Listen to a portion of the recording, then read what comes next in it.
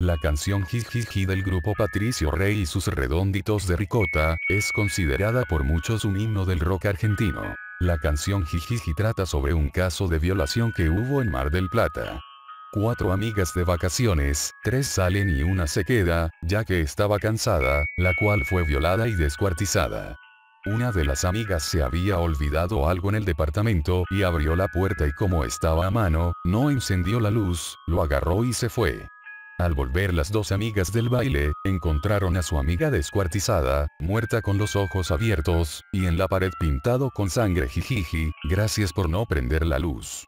Nos pusimos a analizar la letra y descubrimos muchas cosas. El muy verdugo cena distinguido, una noche de cristal que se hace añicos. No lo soñé, y el el asesino cena como una persona más de la sociedad, una persona de la que nadie desconfía, un vecino más. La noche de amigas que iba a ser inolvidable se vino abajo, se derrumbó tras llegar al departamento. El asesino no lo sonó, ni premeditó, simplemente lo hizo. No mires por favor. Y no prendas la luz, la imagen te desfiguró. Este film da una imagen exquisita. Esos chicos son como bombas pequeñitas.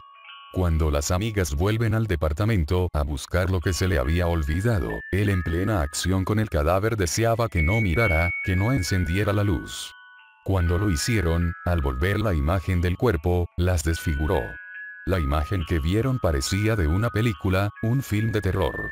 Los violadores son bombas pequeñas, matan nada más a la persona que está a su lado y eligen, no a multitudes. Los ojos ciegos bien abiertos.